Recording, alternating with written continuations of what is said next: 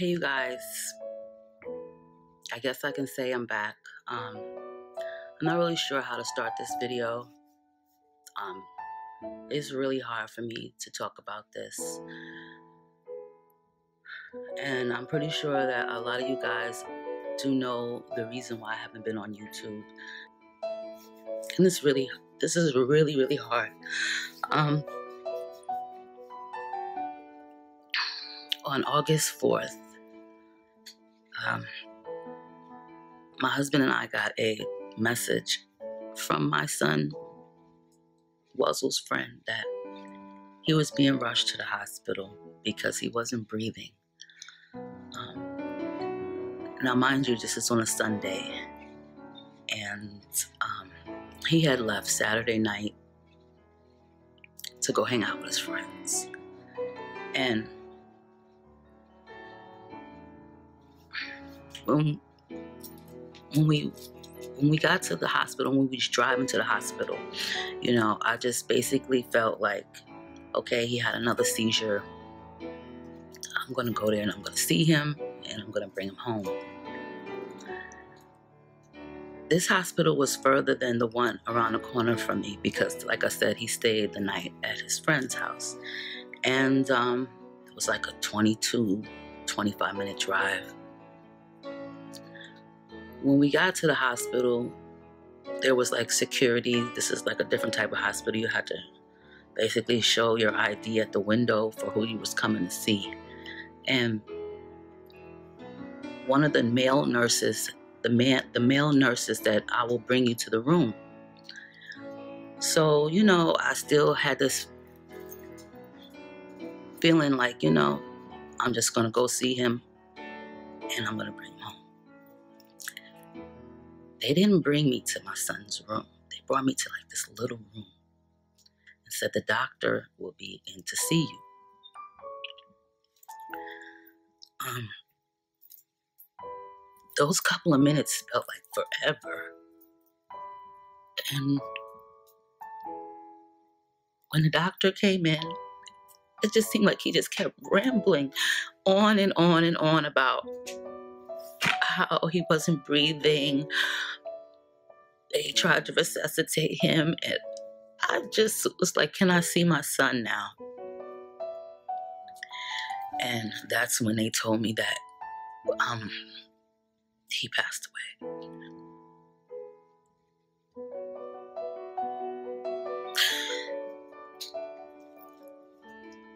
I had to go see him laying there in the hospital and honestly, just really didn't want to believe that it was true. And I still feel like that. Like, you know what I'm saying? He left and now he's gone. And um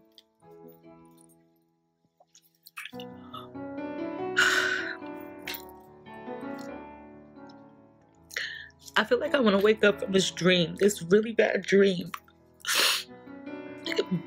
that I've been in. Like I honestly am really like in denial somewhat.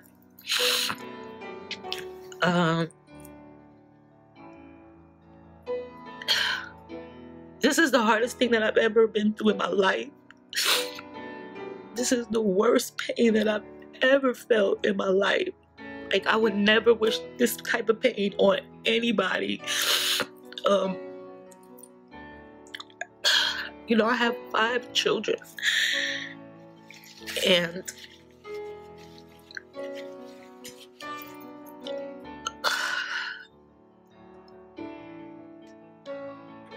losing a child is like the worst thing anyone could ever experience. I'd trade places with him for anything in this world. Um,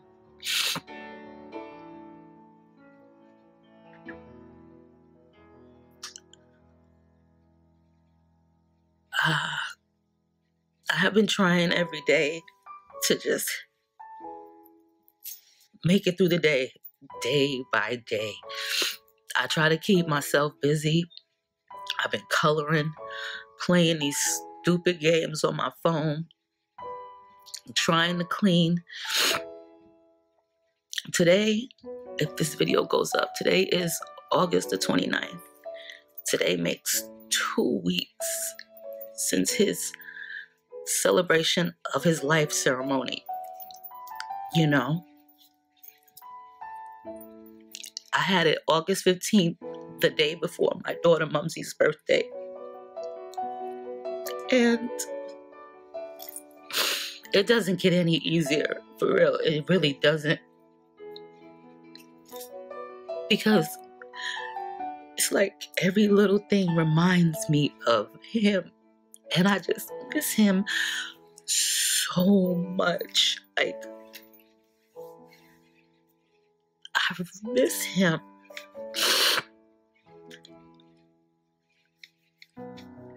It was just so unexpected. And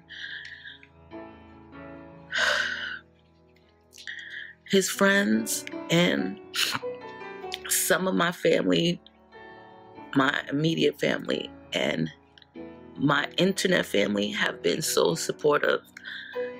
Like seriously, um, I have heard nothing but good things about my son. How he was such an inspiration to all of his friends because he had his own clothing line and they even continued his clothing line brand. And it it hurts even more so when you hear like all of these amazing things about someone that has passed away. You know, it's like why why do you hear that now? That's the hard part. And to hear his friends tell me he would always talk about me and how much he loves me. And I feel the same way about him, but sometimes that hurts because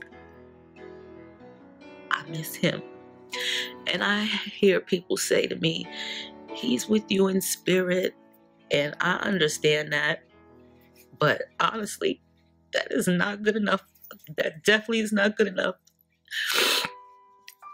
Sometimes I feel like I'm losing my mind because one minute I could be like just leveled, and then the next minute I'm like, God knows where. Um, I sleep in his room. Like if I'm waiting for something, waiting for him.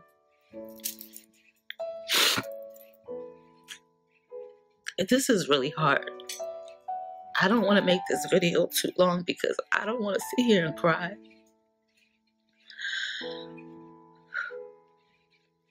But I do want to tell you guys that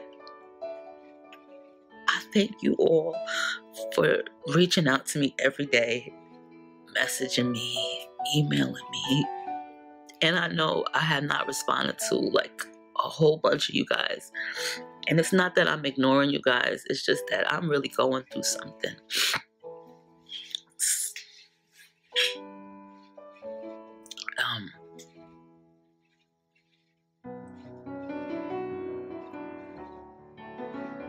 Could never imagine losing a child.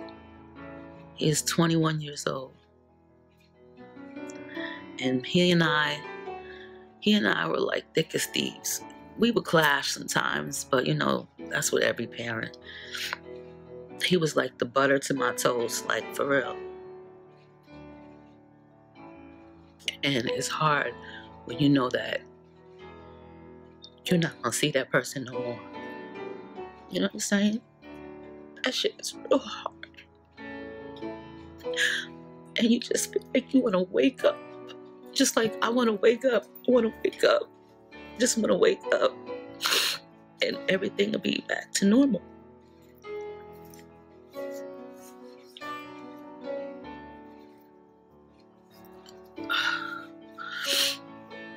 That's why I say to you guys life is short.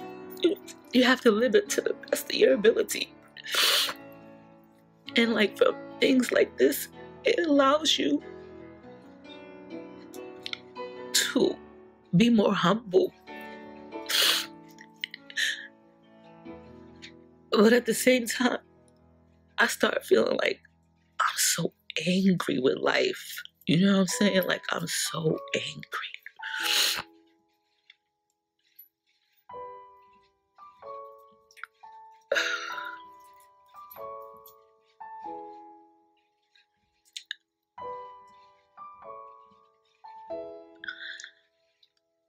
You, you know, I count the days. Um, I count the time, like what he would be doing at this time. You know, people say you have the memories. That's great. Having memories is great. But I want new memories too.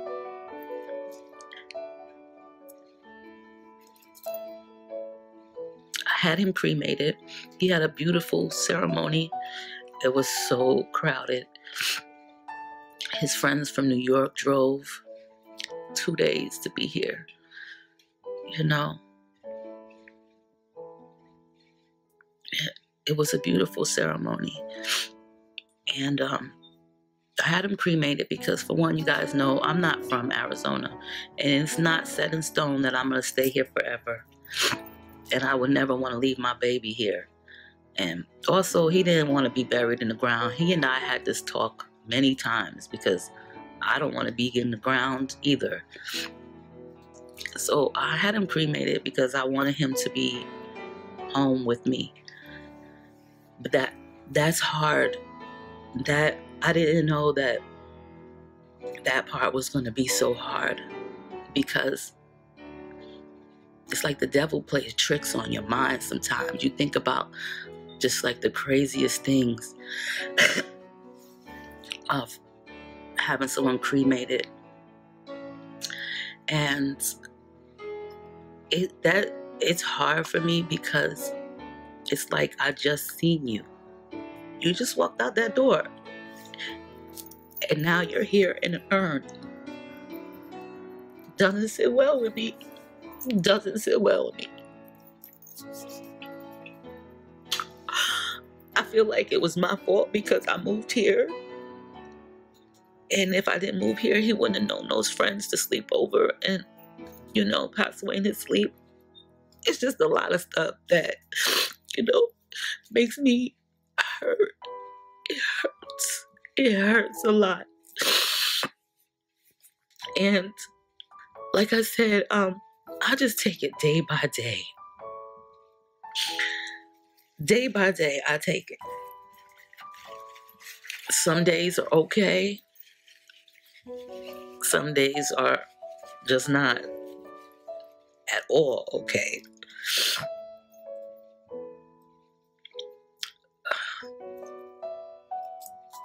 I talk to him all day.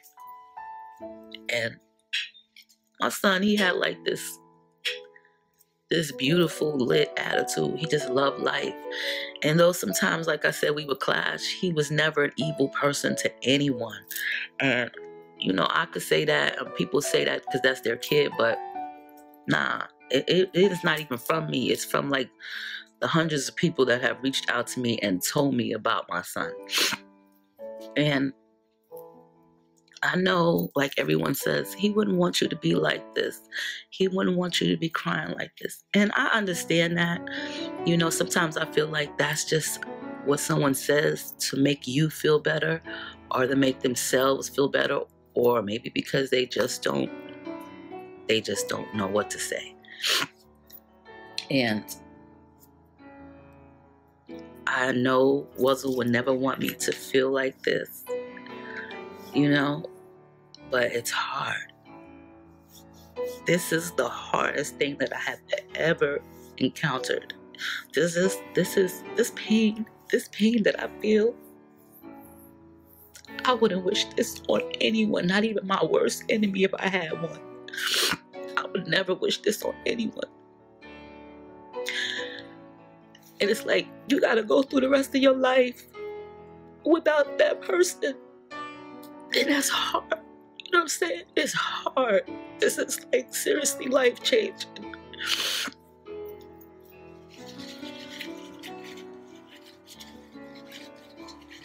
Through this experience that I've had, because this is an experience that I will have to live with for the rest of my life.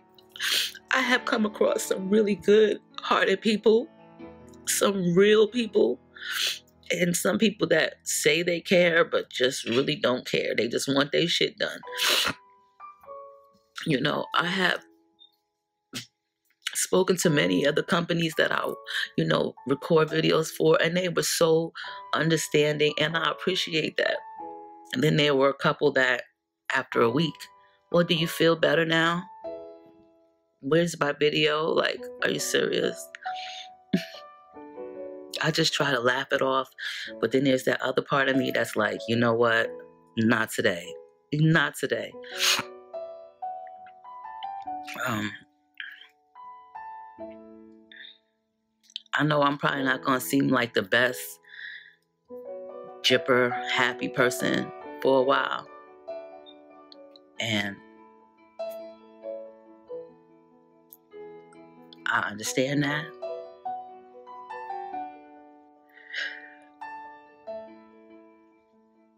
But I understand that I cannot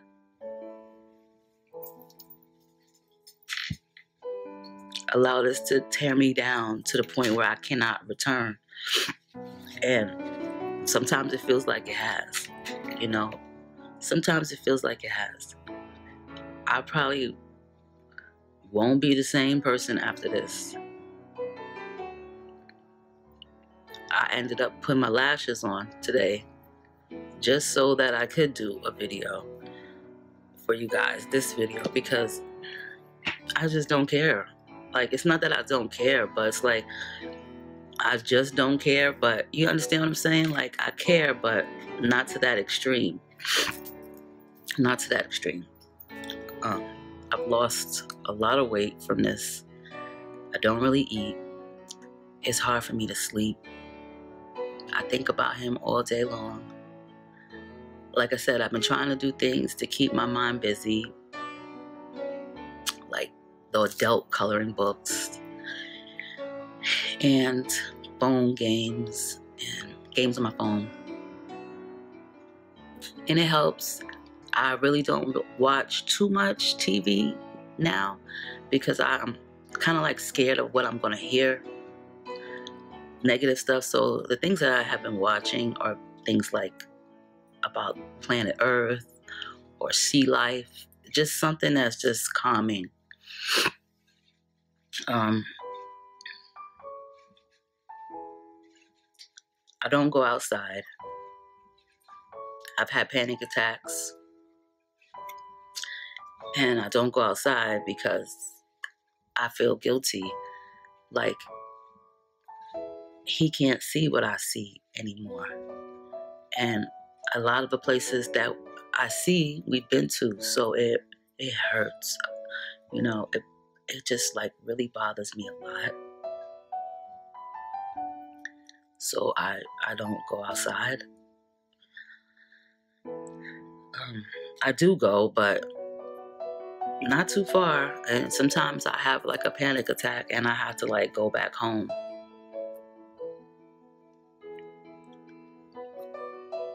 But I don't want this to make me feel like I'm a caged person, a caged animal, or secluded from the world. You know what I'm saying?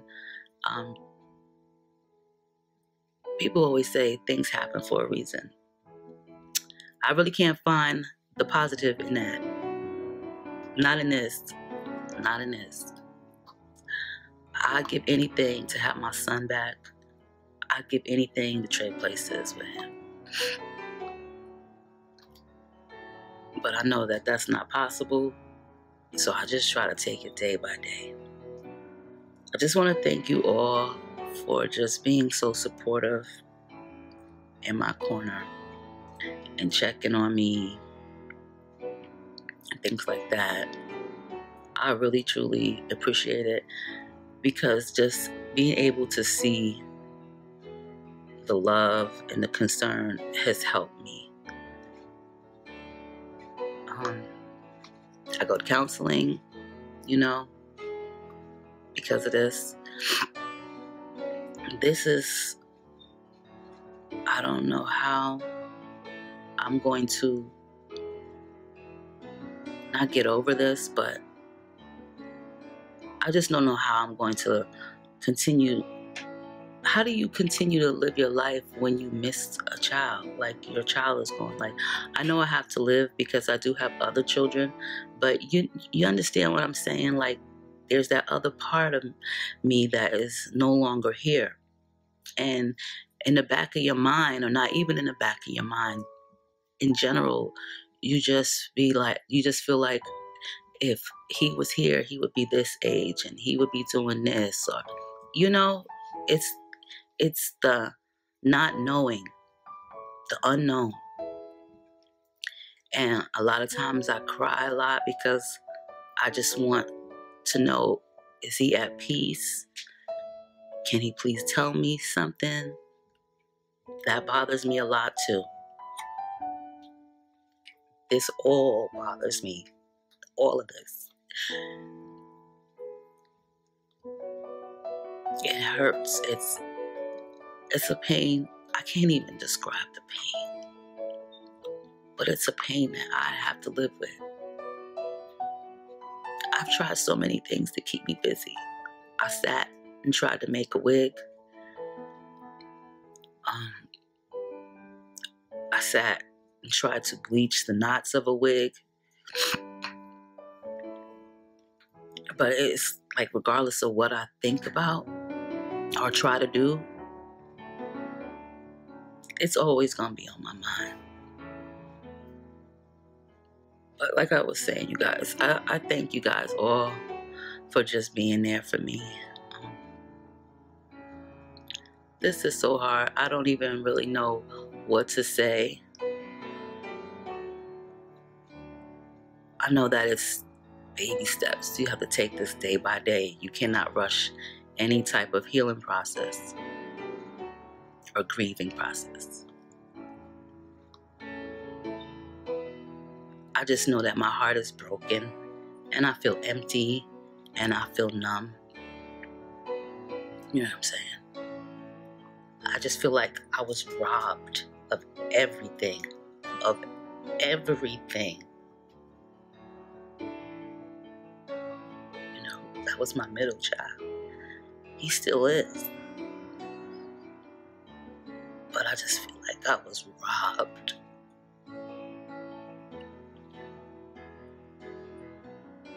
Um, yeah. I don't really have any expectations for like getting over this today or tomorrow. I just know that this is going to take me some time. And I do know that I have to live my life for my other children and and stuff. Um, my older son, my eldest son, he had bracelets made that say Wuzzle World on them and the birthday and stuff. And we have shirts because his name, his clothing brand was called Organized Chaos. Is called Organized Chaos. So his friends that were so inspired by him, because he inspired them to make clothes, they made a shirt. And I'll, if I remember, I'll post a picture at the end. And it says Organizer of Chaos with my son's pictures on it. And it's really hard. Like these these young men come over to this day still. They text me, they call me, they come over. We checking on you, we're checking on the family, you know. Good kids, just amazing kids. Um, a week after he had passed, they had did a car wash on their own. You know, and I felt all the love right there. And so I know that my son has brought some amazing young people into my life into our lives. And I'm grateful for that. So I know that He's looking over me because there are some days, the other day, I had got five text messages within minutes of each other from five of his different friends. You know, they were just within minutes of each other. There were five of them. some from New York, some from Arizona. Hey, mama, just checking on you, you know, like, so I know that that's him sending his friends to make sure I'm okay. And that sometimes hurts too, you know what I'm saying? But I know that, like, I'll be okay, or, you know, I'll, I'll get through this. I will get through this. Um, when I have no clue. But I just wanted to tell you guys that I thank you all and I love you all. And I just want to let you guys know that I'm okay. You know what I'm saying? I'm all right. I'm okay. I'm like right here. I'm not okay, but I'm I'm okay.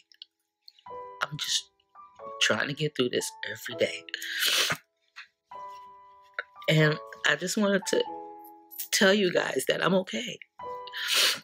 Because I get so many messages saying, I'm worried about you. We haven't heard back from you. Are you all right? Like, you know, you, I understand. And I get that. And, I, you know, I will post videos up probably within the week. I have so many videos that were um, already done. I didn't even edit them.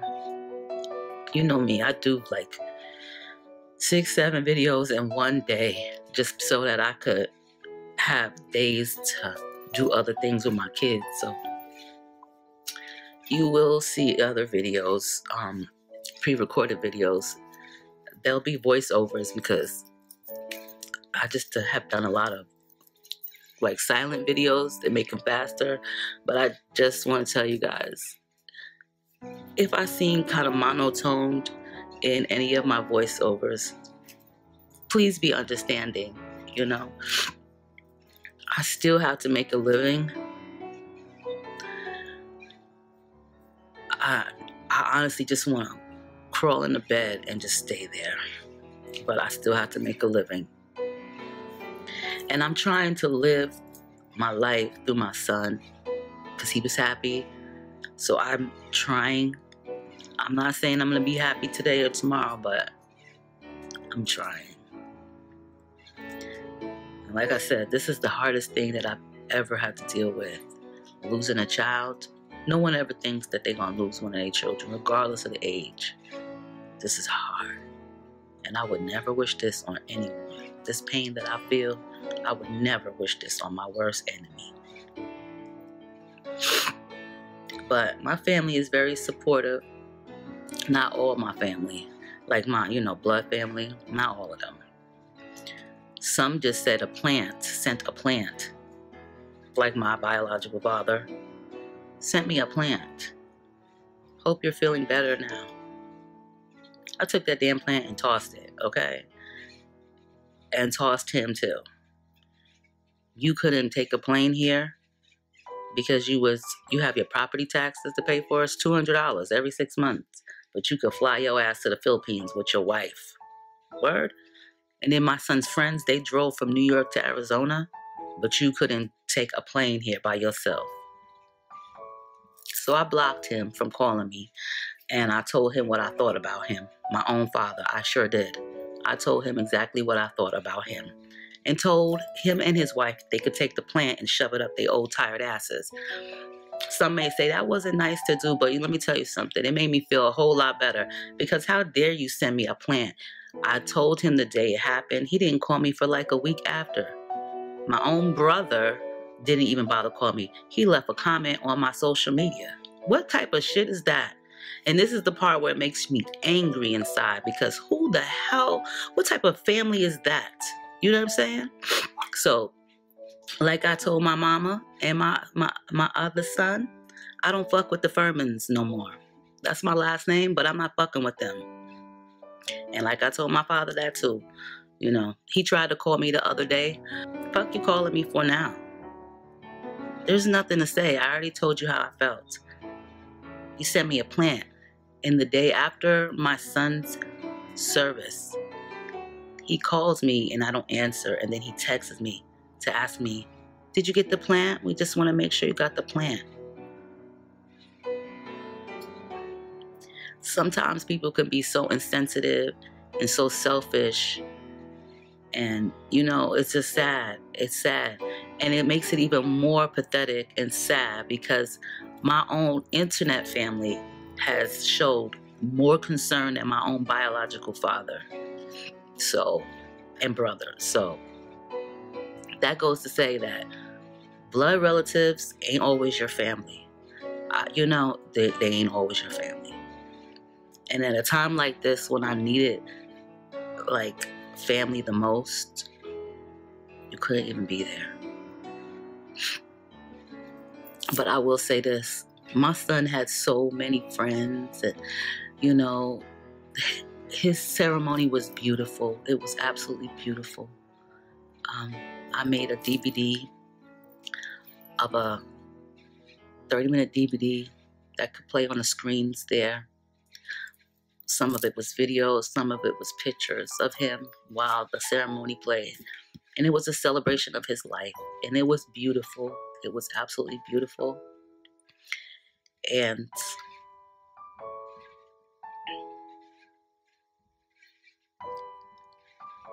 I just pray that he is at peace and he's happy.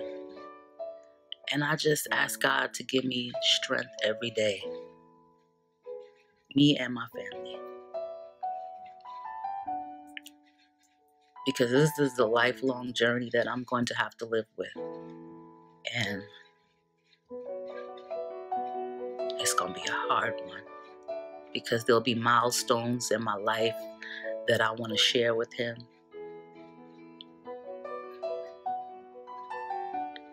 Nephews that have grown up. My grandson Tinky asked me the other day, Where's Uncle Wuzzle? Is he going to come home now? Is he going to wake up from his nap?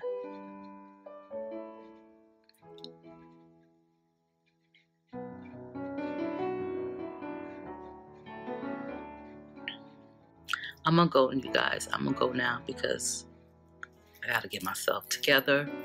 I gotta pull it together. But I love you guys, and I'll see you guys soon on YouTube with some new videos. Um, just give me time. But I love you guys. With me and Wuzzle, he's crazy. You know, he does this. This is him. He does the fashion. I does this, you know. Yes, he does this. It's mama. He's so crazy.